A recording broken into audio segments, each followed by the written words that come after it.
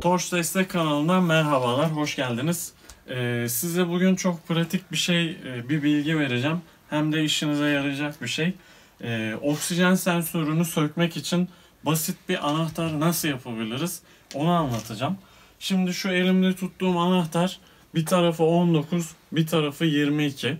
Ee, normalde oksijen sensörleri 19 değildir. Genelde 22 çıkar. Ee, belki 21 olan da vardır.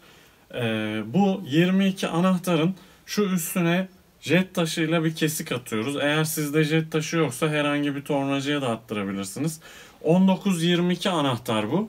Hani 22 tarafını kullanıyorum ben. Bunun şu şuradaki şu eğik yapısı da oksijen sensörünün olduğu yere girmesi açısından e, güzel.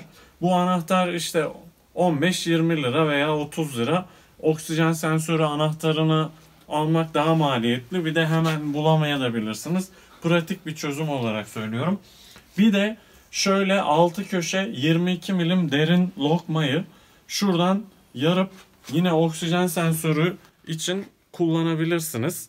Ee, size şimdi şurada anlatayım ben detaylı. Bakın şu 22 tarafı görüyorsunuz.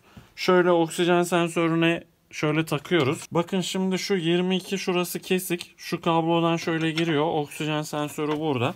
Şu şekilde oksijen sensörünü açabiliyorsunuz. Sonra bunu çıkartıyorsunuz. Dediğim gibi şu yapısı sayesinde oksijen sensörü katalitikte falan olduğu zaman da yerine girebiliyor.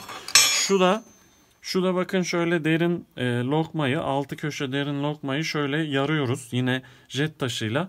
Bu biraz zayıf oluyor. Eğer bununla sökerken zorlanırsanız bunu yerine taktıktan sonra şöyle takılıyor bu yerine göstereyim size bakın.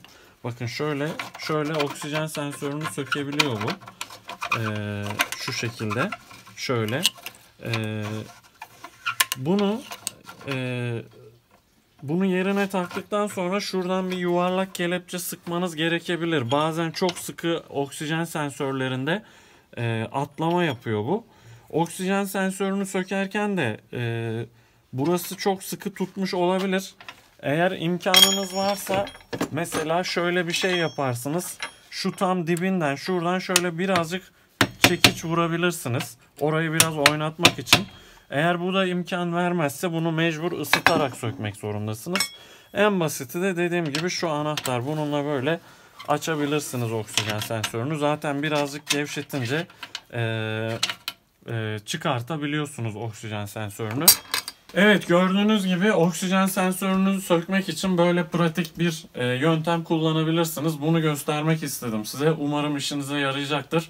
Kanalıma abone olup videolarımı beğenip yorum atarak bana destek olabilirsiniz. Ee, bana ulaşmak için web adresimi, mail adresimi, e, sosyal medya hesaplarımın mesaj kısmını ya da YouTube yorumlarını kullanabilirsiniz. İzlediğiniz için teşekkür ederim. Hoşçakalın, sevgiyle kalın.